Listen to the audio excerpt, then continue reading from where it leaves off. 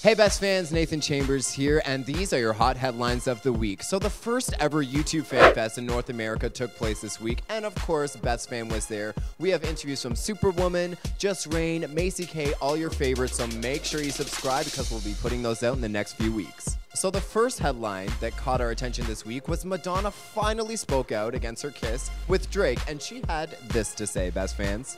Is Drake a good kisser?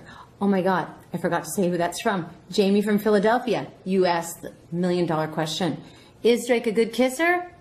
I kissed a girl and I liked it. What advice would you give to your younger self knowing what you know now?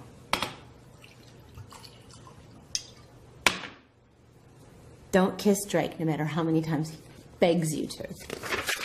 What do you guys think? Did Drake really ask Madonna to kiss her? Because I personally don't think so, but it's Madonna. Why is she lying? Moving things along, Rihanna seemed to have gotten some fashion advice from Big Bird this past weekend. If you haven't seen the video yet, she has a long gown that she's wearing. People have transformed it into a pizza, some people turning it into an egg, but my personal favorite is when Big Bird finally spoke out against it and said this.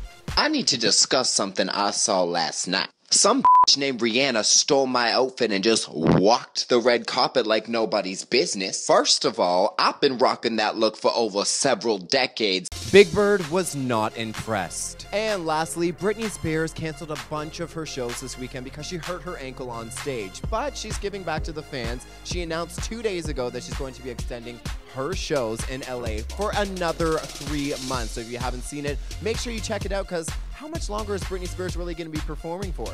And those are your hot headlines of your week. I'm Nathan Chambers, signing out, best fans.